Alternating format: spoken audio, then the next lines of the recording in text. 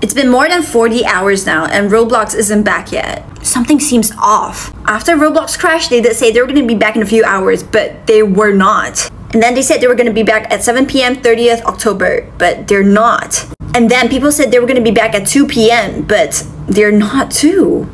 Also, Roblox clarified that the reason for their crash has nothing to do with the Chipotle event and nothing to do with the Dot Me event. So, what could it be? I was kicked out of the game as well. Now it's saying that the 31st October it will be back. But if it's not, people say it's gonna be back on the 1st of November. But what if it doesn't come back ever? I mean, what if the Brookhaven curse is right? Don't tell me after this I'm gonna start playing Gacha Life or or Minecraft.